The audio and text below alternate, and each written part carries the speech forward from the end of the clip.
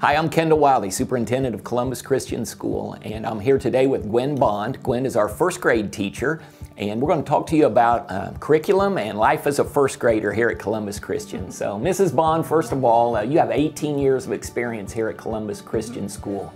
Uh, what keeps bringing you back here? I love the families and the kids. I can, you know, really talk to the kids and we have fun during devotions and our calendar time and just getting to know each other and the families. Awesome. Well, speaking of that, then let's talk a little bit about your curriculum. Mm -hmm. um, obviously, first grade curriculum, you have to cover Indiana standards right. like all schools would have to cover, uh, but you do that in a certain way here at Columbus Christian. We integrate the, the Bible yes. into that. Can you tell us a little bit about uh, how you do that in the first grade? Well, we are definitely phonics based, and so um, we use Abeka and Bob Jones, and we use um, when we're going over our phonics charts and our special sounds.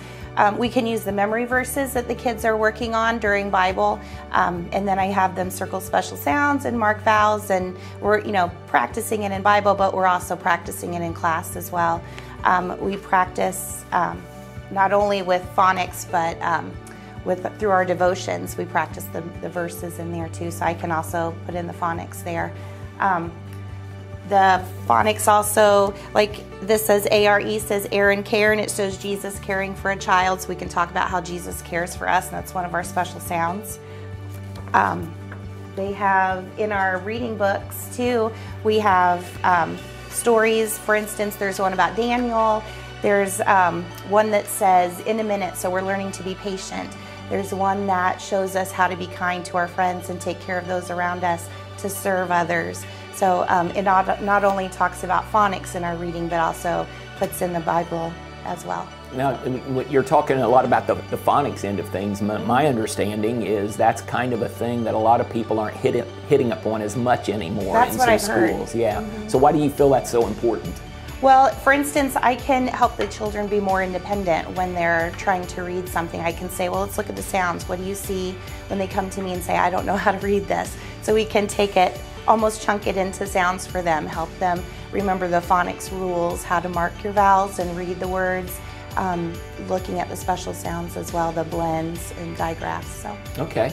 So if we would take a certain subject, you know, and, and you pick, you can pick your subject, but say a, a science or a social studies, can you walk us kind of a little bit through a lesson that you would be doing and how that biblical worldview is in that lesson? Right. Okay. So for instance, um, in science, we might be talking about the seasons. And, you know, right here at the beginning, it says God made the seasons. They're part of His world. And, you know, I can go in through my science devotional books too and read more about how God made the seasons, and it gives Malachi 3:6 as an example. You know, I am um, I am the Lord. I do not change as the seasons change. Um, I use um, biblical truths in finding scriptures for my students on what to read for history and for science.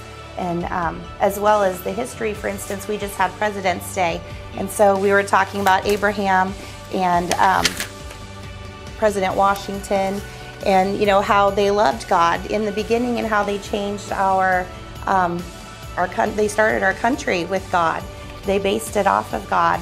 Our even our phonics and our curriculum go back to you know put Washington in there who prayed and loved the Lord and who trusted God and was brave and so it all kind of comes together. You know we can you know even help them with phonics and their history when they get stuck on a word. We chunk it and look at the special sounds and how you mark the vowels. That's awesome, how you weave it all together. But exactly, also, yeah. outside of your classroom, mm-hmm. um, then our, the, the, students at Columbus Christian also have the opportunity to go to a Bible class. Yes. Can you talk a little bit about your schedule and how that works? Right. In the morning, we have um, our calendar time and devotions. But then right after that, um, our Bible teacher comes in and they have a Bible lesson. So they go through the Bible, they do their memory verse, they play games, and do activities with Bible. So it's another teacher that comes in and covers their Bible lessons. Right. And how do you ha- how do you handle uh, specials at Columbus Christian? Okay, so specials um, for first grade, the teacher comes to us this year, and so we have art and music in our classroom, and then um, we also go to PE in the afternoon. So and as well as Bible and chapel. So on Wednesdays. Oh, that's awesome. Okay, so you have a, a Bible teacher that comes and, and has class with them. How do you handle specials in your classroom? Well, our special teachers come to our classroom. So we have music and art in our classroom. We also have uh, laptops, our Chromebooks. So she also comes in to do computers at the beginning of the year. And then we leave the room for library upstairs and for PE, we go to the gym. Okay, so that's awesome. Now, can you talk a little bit about the, the culture at, at Columbus Christian School? I know you, you have uh, many years of experience and, and uh, you've been able to see kids grow uh, as they come in with their families and, you know, their young families. Right. Uh, can you talk about that family culture that so many people refer to? Right. I think we all just lean on each other. We're there for each other. Um, you know, I've experienced it when people come around me when I need help with something or when we're going through something.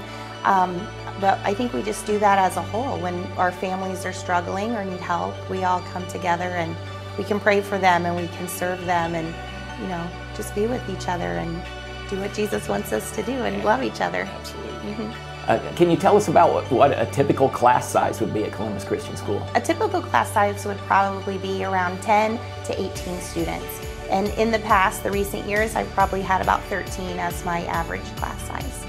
Very good. And, and, and that is one section, so those kids really get to know each other right, as exactly. they move up through the through the high, through all the way through high school. Mm-hmm, exactly. Yeah, and and also uh, we might say now you're on the first grade end of things. Uh, but but you've had students that have gone all the way through grade 12. Yes, exactly. Yeah. yeah, it's really fun to watch them go from the young readers and you know young in their faith to growing and becoming leaders in the school and you know not even in their classrooms but on the basketball court and in their churches and everywhere. So it's fun to watch. Very good. Yeah. Well for gwen bond i'm kendall Wiley and we're glad that you're listening today. Uh, we like talking to you about columbus christian school where we do education with a higher purpose. Hope you have a blessed day